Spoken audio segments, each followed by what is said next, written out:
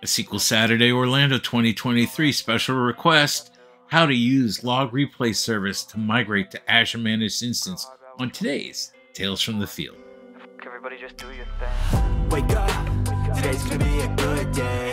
Wake up, today's gonna be a good day. Wake up, today's gonna be If this is your first time finding us on Tales from the Field, give us a like and give us a subscribe. If you're new to the channel, welcome to the family, my friends. And to those loyal subscribers, I raise a glass to you.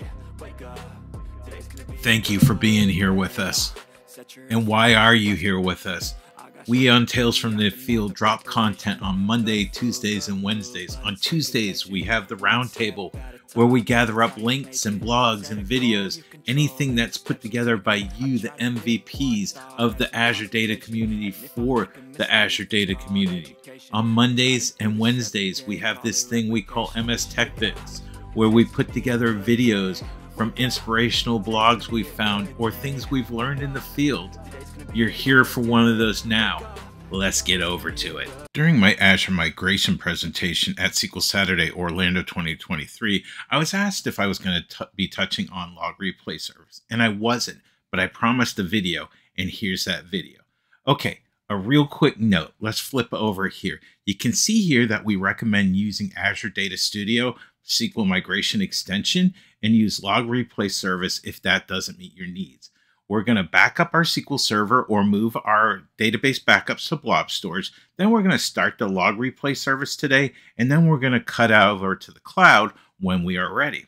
All right, couple things I want to touch on within our documentation here that will be provided within the description of the video. We're not going to go through everything here. However, I do want to touch on a couple items real quick.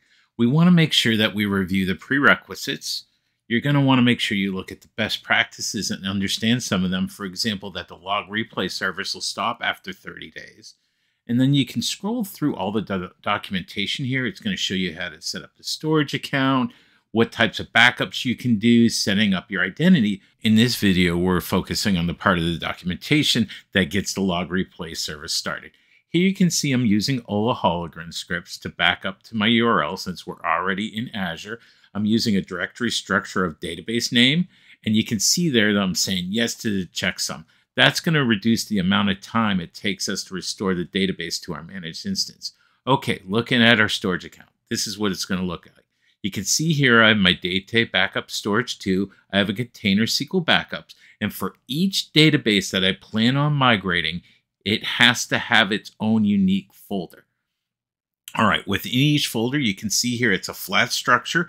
I've got my fulls, my differentials, and my transaction logs that I plan on restoring to my managed instance over here in Azure Data Studio. If you need details on how to create this credential with a managed identity, our good friend Brad has a video here in this channel to be able to do that. What I wanted to show here is that we could do a restore header only from URL to see if we can access our database backup. You can see here that we were able to access it, and this is one of the common areas why our log replay service will fail.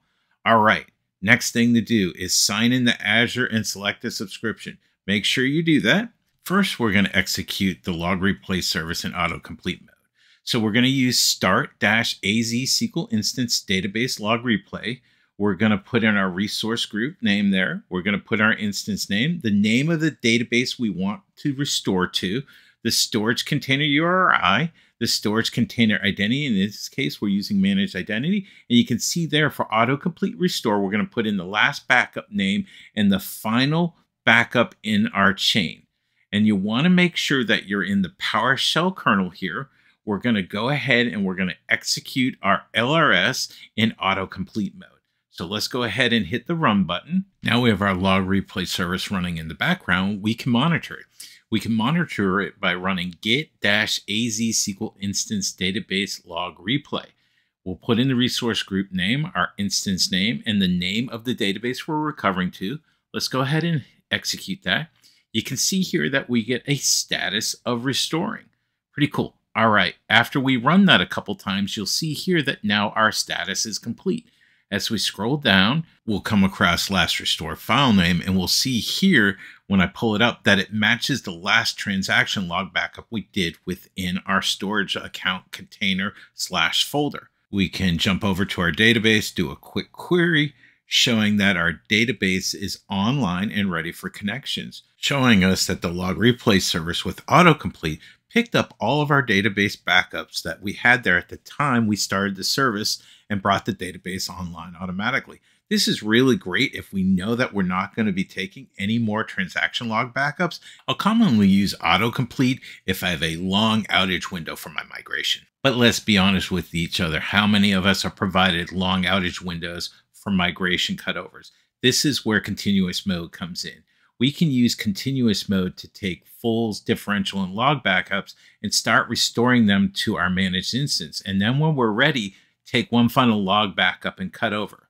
So here we're going to use the same command, start AZ instance database log replay. We're going to put in our resource group name, our instance name, our name of the database we want to re restore to, our storage container URL, our storage container identity, in this case, managed identity again.